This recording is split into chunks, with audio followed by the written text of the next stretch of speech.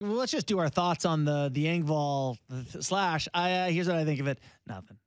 I didn't think Not suspendable. No, I didn't think so. He, you know, Durzi gets a stick up, so Engvall's stick is already up. He kind of gives him a chop. He gets a penalty. See you later. Yeah, I know, but there's I've seen enough. there's some evidence out there that say that it's two games. No. No, I'm just telling you that there's others that have been suspended for that type of thing. and One of the things a they look at is, two. is well, I know history know? is one, and his history is uh, not an aggressive one, and force, right? The force of the incident. To me, you know, I, I, he pet Durzi on the head with his hockey stick. It's not legal, but suspendable? No. I- If you got Uh, if you got a couple games, I wouldn't be offended. That's 'cause you don't care Kuznetsov, if he did we not see Kuznetsov get a game this year for something on the goal line? He got a game. It's probably in that.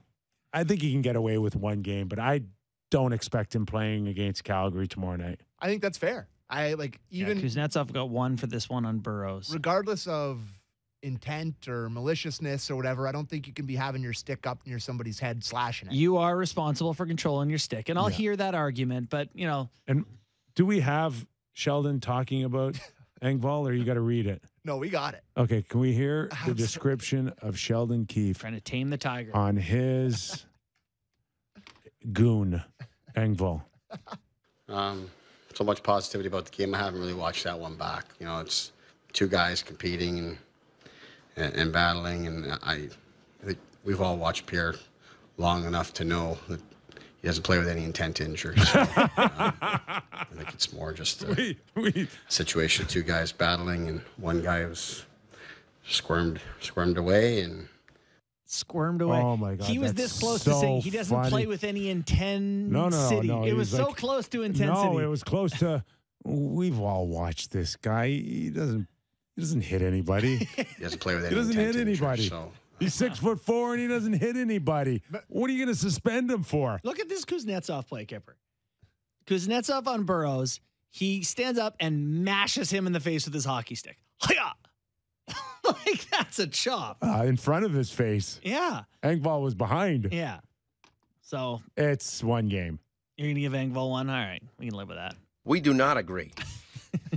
Yeah, there's just no way that uh, you can go around the league and suspend guys one or two games, and then you're in the heart of Toronto where everybody watches and has played more times than any other one, um, and you're going to let that slide. Yeah, I, right. I, I just think it's it, it actually works against the Toronto Maple Leafs and their popularity and the attention that they get. It works against them. But at May- least every goal gets called off. If, if Engvall right nice. now, if if that happened with Arizona Yeah. or Carolina, Yeah, Clayton Keller does that Yeah. against Anaheim. like no for, you know, injury, one day. come on, no injury, right? All, Yeah. There's a lot of reasons to think that you can get away with a fine or a warning. particularly given his But- history. Although, and, uh, this is where it works against the Leafs. what's Pierre going to say in that uh, meeting?